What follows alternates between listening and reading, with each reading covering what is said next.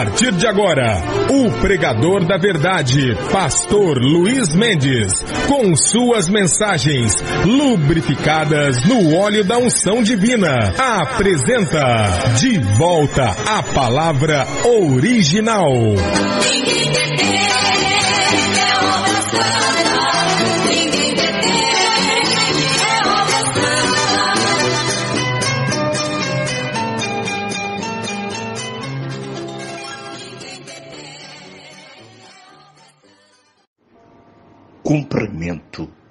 todos com a paz bendita de nosso Senhor Jesus Cristo.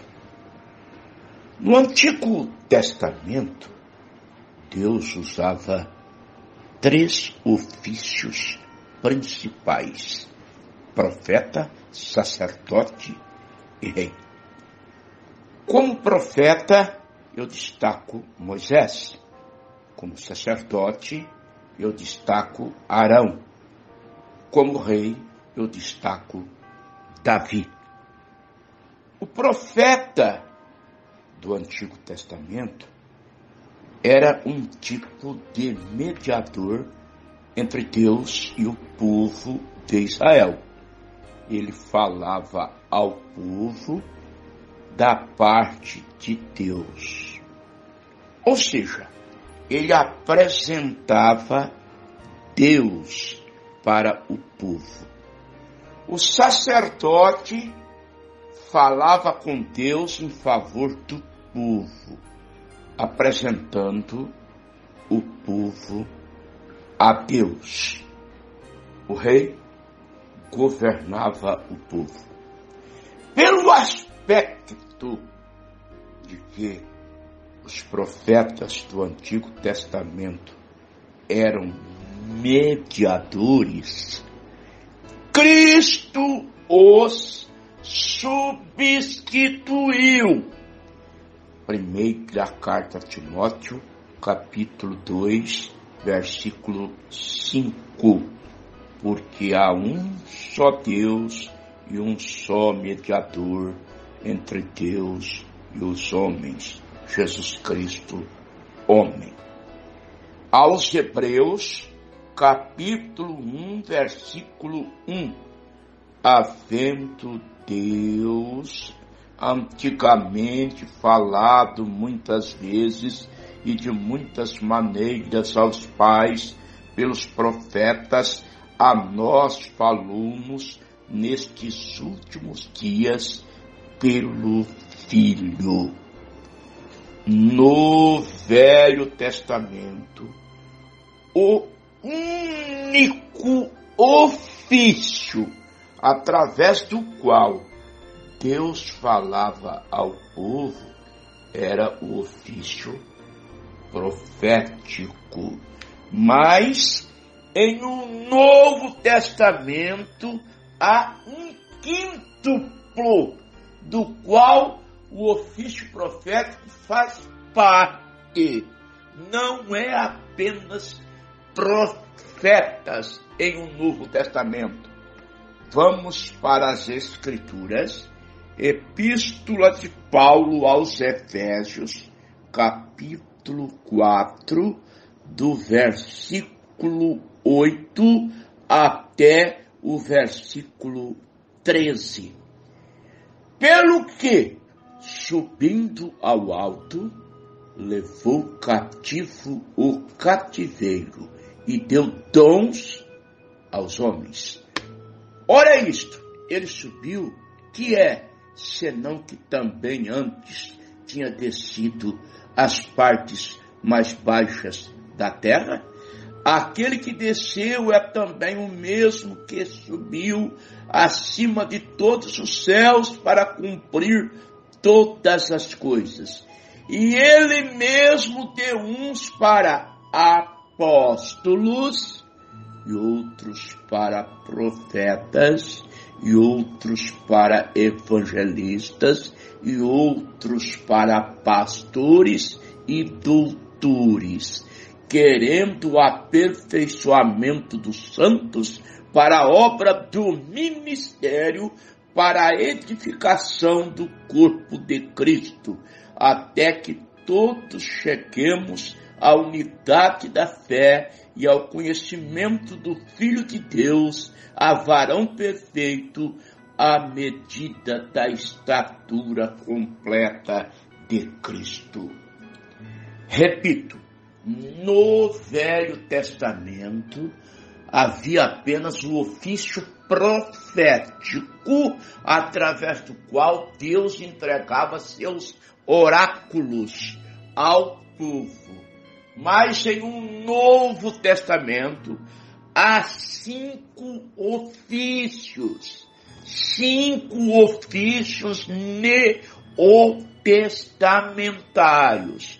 O irmão Brana, na mensagem a ele ouvir, parágrafo 99, ele diz: O que necessitamos hoje é de um ajuntamento, de uma reunião de oração e de permanecer ali até que Deus envie a adoção do Espírito Santo, fazendo o Espírito Santo descer e colocando na igreja apóstolos, profetas, mestres, evangelistas e pastores. É disso que precisamos. Sem esses cinco ofícios, não há a perfeição do corpo de Cristo.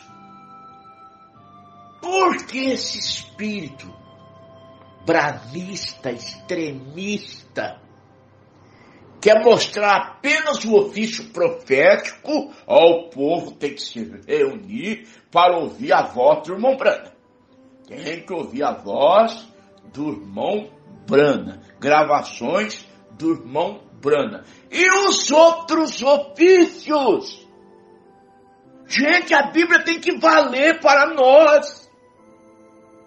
Quando Paulo disse em Efésios capítulo 4, versículo 11, e ele mesmo deu uns para apóstolos, e outros para profetas, e outros para evangelistas, e outros para pastores e doutores. No versículo seguinte, o 12, ele disse: querendo aperfeiçoamento dos santos para a obra do ministério, para a edificação do corpo de Cristo. Sem esses cinco ofícios, não há aperfeiçoamento, não há a edificação do corpo de Cristo. Na mensagem perguntas e respostas sobre os selos, pergunta número 22. Ela foi feita assim ao irmão Brana. A noiva de Cristo terá um ministério antes do arrebatamento? Resposta, parágrafo 233. Com certeza! É isso que está ocorrendo agora mesmo. E a mensagem da hora, veja, a noiva de Cristo, com certeza, ela consiste de apóstolos, profetas, doutores, evangelistas e pastores essa é a noiva de Cristo. A noiva de Cristo não tem só profeta. A noiva de Cristo tem os cinco ofícios neotestamentários. E porque esse espírito extremista quer anular os quatro ofícios e apresentar só o ofício profético, dizer para o povo que o povo tem que ouvir apenas gravações do irmão Brana, o pastor no púlpito vira o quê? Uma figura decorativa, e o evangelista, e o apóstolo, e o mestre. Na mensagem, perguntas e respostas, número 3. A pergunta é de número 25 ela foi feita assim ao irmão Brana.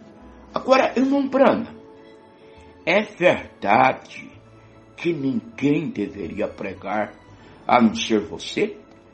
Nós temos visto, nós temos ter visto ordenar homens. Nós não cremos que você faria isto se não fosse para eles pregarem. Resposta do irmão Brana, do parágrafo 204 ao 206. Misericórdia.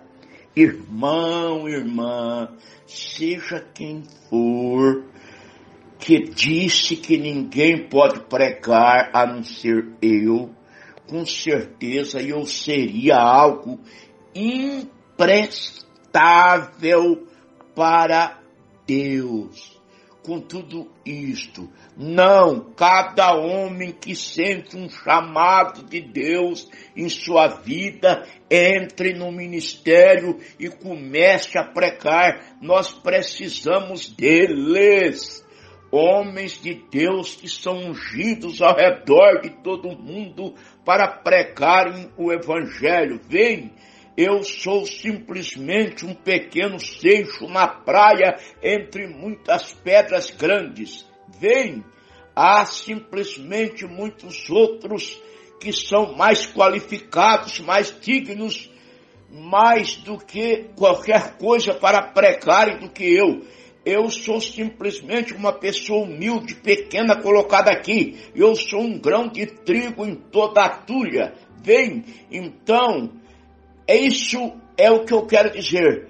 Observe isso. Qualquer homem que é chamado precisa pregar o evangelho.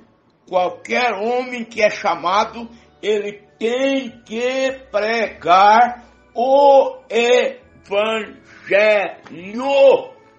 Ele tem que manifestar seu dom, porque esse espírito fanatizado tem esquecido até mesmo de citar as Escrituras e critica os que citam a Bíblia. Eu seria reprovado se eu estivesse citando o horóscopo. Eu seria reprovado se eu estivesse citando frases filosóficas de grandes filósofos mas eu estou citando as infalíveis palavras de Deus, que foi a fonte na qual o irmão Brana se abeberou para extrair as suas grandes mensagens pepitas de ouro. Ouçamos o que ele disse na mensagem A Marca da Besta, parágrafo 12 e aqui não temos nenhum credo senão Cristo. Esse é o credo, nenhuma lei senão o amor, nenhum livro senão a Bíblia. A Bíblia é nosso manual. O mundo é a minha paróquia, de forma que eu gosto de pregar como eu me sinto dirigido a pregar.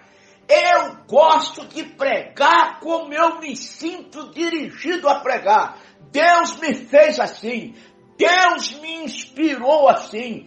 Deus me capacitou assim. E eu não estou errado. Eu estou pregando a palavra de Deus, que foi exatamente o que o irmão Brana pregou. Primeira carta de Pedro, capítulo 4, versículo 11. Se alguém falar, fale segundo as palavras de Deus. Isaías, capítulo 8, versículo 20, a lei e ao testemunho, se eles não falarem segundo essa palavra, nunca verão a alva. Que o Senhor continue vos abençoando.